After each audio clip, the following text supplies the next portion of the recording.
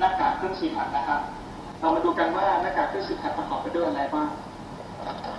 เปิดกล่องแกะกล่องมาใหม่เลยนะครับ ก็จะประกอบด้วยตัวหน้ากากครับซิลิโคนอ่ามีซิลิโคนแล้วก็ที่รองหน้าผากแล้วก็ expiration valve คือการหายใจออก มันจะมีรูอยู่ในเนี้ครับ แล้วก็เวลาเราหายใจออกปุ๊บเนี่ยคาร์บอนไดออกไซด์มันจะออกมาทางนี้ครับผมจากนั้นเราก็มีตัวสายรัดครับ ที่จะรัดอ่าศีรษะนะครับ อันนี้ผมเป็นสาธิตวิธีการรัดสายนะครับว่ารัดยังไงบ้างก่อนอื่นเราก็จะแกะตัวสายรัดหน้าขามออกนะครับ เราจะใส่ตรงด้านบนก่อนครับ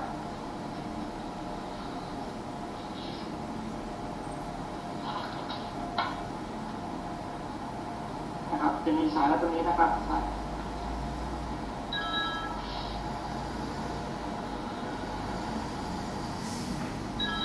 ครับออกแบบ รวมๆกันนะครับจากนั้นก็ครอบศีรษะคนไข้นะครับไอ้ตรงนี้อยู่ตรงจมูกนะครับ แล้วเราก็ปรับอีกทีนะครับ ตรงนี้จะมีตัวหมุดอยู่นะครับ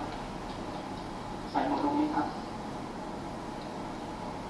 แล้วก็ปรับสายรัดศีรษะนะครับ ถ้าเกิดมีลมรั่วออกตรงด้านจมูกตรงนี้นะครับ แล้วก็ปรับด้านบนครับ ให้สายรัดหน้าผามันรัดกับ